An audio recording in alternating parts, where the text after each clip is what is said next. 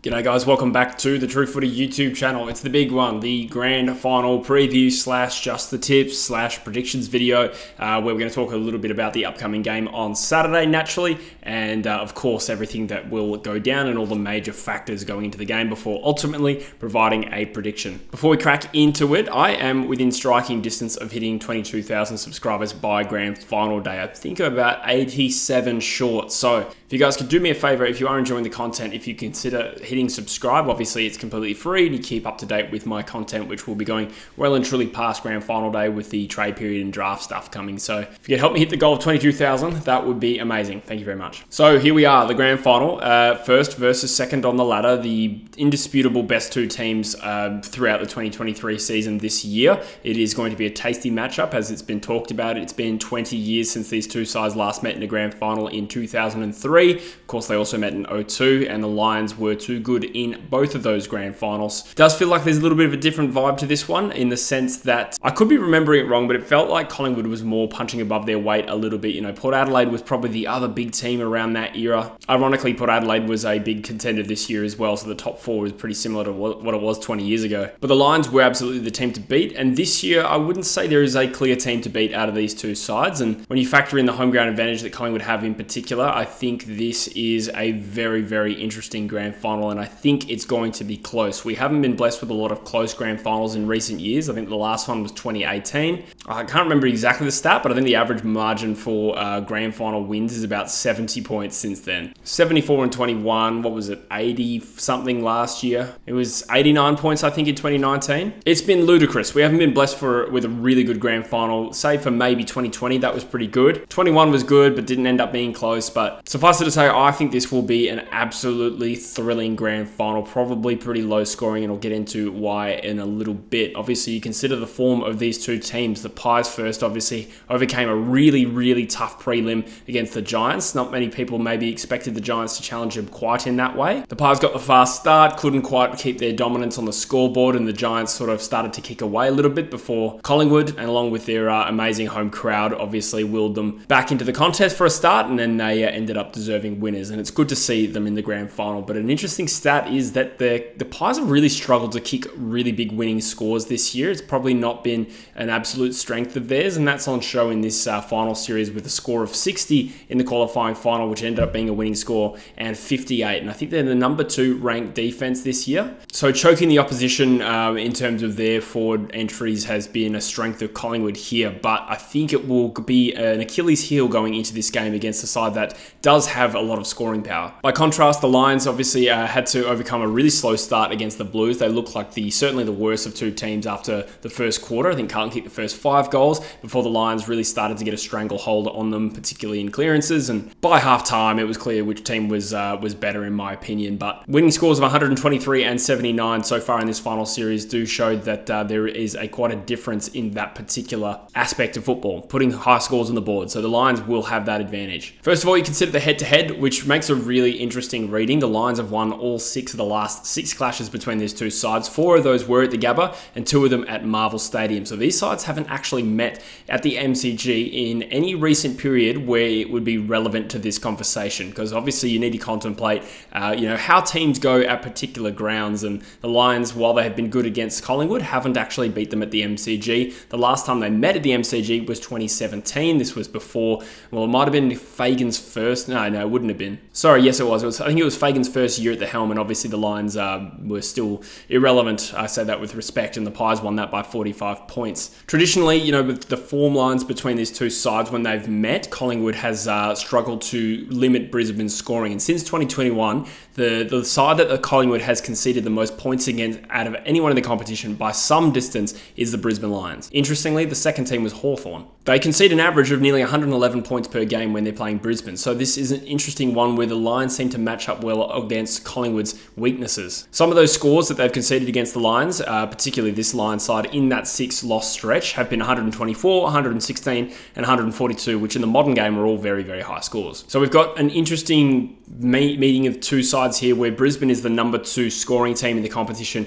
Collingwood is the number two defensive team in the competition. So that in itself makes for an interesting matchup where it comes down to how well Collingwood can quell Brisbane's ability to score. Between these two sides over the last five matches, Lachie Neale, uh, unsurprisingly, is rated as the best player when these two sides meet over the last five games, according to FinalSiren.com. Again, you know, I'm, I'm recording this before the official teams are out. However, there has been some news with regard to match selection. Unfortunately, Taylor Adams has been ruled out. This has also been bad for my game day squad. If you saw yesterday's video, I uh, brought him back into the team, so I'm going to have to make that change. Obviously, Dan McStay will also tragically not be available for this game. So Adams and McStay are two reasonably big outs for the Pies. Billy Frampton was apparently uh, playing as a forward in match simulation drills, which means that he may be the forward target in replace of McStay. We'll see. For the Lions, we do know that there's an injury cloud over Jack Payne, who they I was I read a report that said he was 70% chance of playing. Uh, Darcy Gardiner came in for him in the prelim, and uh, he hadn't played since round 13, but he played really well as well. So the Lions do have some options there. And there's also you know Jack Gunston's racing to be fit for this game after an injury, and uh, it'll be interesting to see if he gets back into this team that is playing well. Do you mix with that formula?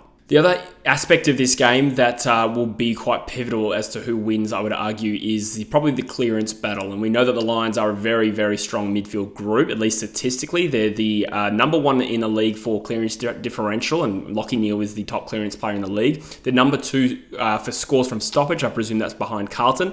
And number three for scores from stoppage differential. So this will be another aspect of the game that uh, Collingwood would need to quell Brisbane at. And uh, I highlighted that as an obstacle for them in the prelim, coming up against a very strong Giants midfield. However, even with Taylor Adams out, they uh, they won the clearance battle heavily. Jordan De Goey, I think, is going to be a super important player. We know he's a big game player. He plays well in finals, played well in the grand final that he played in in 2018, kicked three goals. Now he's probably going to be playing more of a midfield role. He will certainly be a key pivotal player, particularly in big moments for this particular game for the Pies. For the Pies, they've done a great job to you know get back into a grand final. They they dipped down the ladder, and five years later they're back into the grand final. There's 10 players I believe, likely to be playing in this game that played in that 2018 clash. Obviously, for the Lions, there's going to be a whole host of players that haven't played in the grand final. Uh, Lachie Neale comes to mind as someone who has for Fremantle. Jack Gunston potentially is going to be playing too. Charlie Cameron is another one that played for Adelaide, and there's probably more, but that's just uh, the ones off the top of my head. And I think for the Lions, the MCG hoodoo is something that they really need an answer to pretty quick. Now, we've seen that in recent times, the MCG form has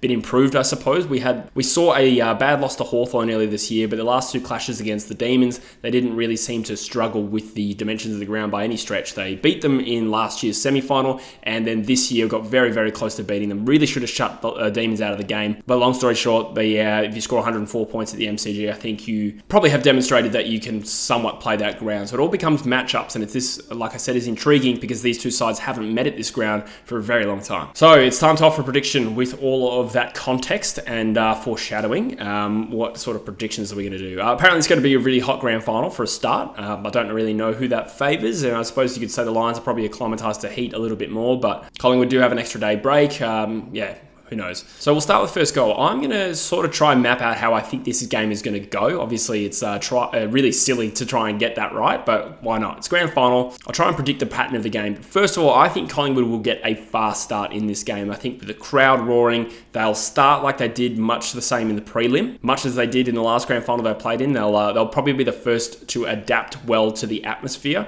I'm going to say that we see a Joe Daniher shank early in the game. Uh, he'll he'll miss one that he probably probably should get, and sort of we'll be able to tell that the Lions look a little bit rattled. That's what I'm expecting will happen early. Collingwood will get the first goal, and I think it will be through Mason Cox. But in similar Collingwood fashion, I think the scoring power has been a bit of a weakness this year. Their killer instinct to really put teams away when they have dominance is probably the one thing that they've struggled to do this year, and therefore I think while Collingwood will dominate the first term, they'll only kick three goals. But they will keep the Lions goalless in the first quarter. So I'm predicting a fast start for Collingwood, but they leave a few goals on the table, and then the Lions start to get a bit of a midfield dominance through the second and third terms. Maybe they're a little bit behind at halftime before eventually in the third term starting to kick away a little bit. And I think the Lions will be in front by two or three goals at three quarter time. But with the roaring home crowd, I reckon Collingwood will come back hard. They might even hit the front and it will be an absolute arm wrestle. And I just don't see this game not being close. I think in previous grand final previews, I we've predicted um, if there was going to be a belting in this grand final, which way would it go? And I think it's really tough this year I don't think anyone predicted a belting in last year's grand final, but at least you can point to Geelong's scoring power and be like, okay, if they're getting a bit of dominance,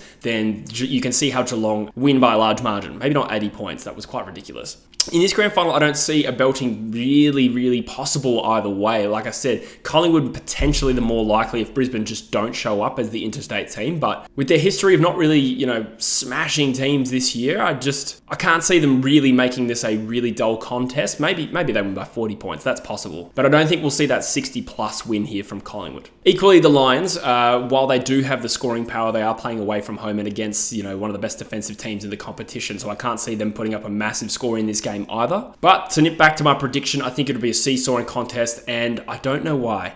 I've been saying Collingwood all year, but I think I'm going to tip the Brisbane Lions to win this game by two points, which would make it one of the best grand finals of the modern era. Like I said, we haven't been blessed with too many lately. Uh, controversially, though, Jordan De Goey is going to be the best player of field, and he'll win the Norm Smith in a loss. And I think the Lions will be premiers for 2023. Who am I going for? Uh, I'm fairly neutral, but I do tend to go for the team that uh, hasn't won a premiership more recently. I do tend to go for the interstate side as well. And I do think it would be a great story for Fagan to come in uh, when the Brisbane Lions were on their knees as an organisation and come in and win a premiership. He's the second uh, coach to coach in a grand final that hasn't played at the elite level. He's also the oldest grand final coach ever at 62. Not that that is relevant to who I'm going to go for, but I think I'm going to be slightly barracking for the Lions, and I think they will win. I don't know. I just, it's just a gut feeling, but you know, if I trusted my gut feeling every time this year, I would have terrible tipping. Oh wait, that's exactly what happened. But anyway, guys, those are my predictions. Let me know in the comments section what you think will happen. I want to hear your first goal, who you're barracking for as well, the winner, the margin, and the Norm Smith medal. But I'm very excited, guys. I've got to get up here at, uh, at about 5 a.m. to start watching this game. I don't think I'm going to live stream it, unfortunately. However, I might do a little vlog of my reaction throughout the game, so we'll see what happens. But uh, yeah, let me know in the comments your thoughts and predictions, and I'll see you in the next video. Cheers.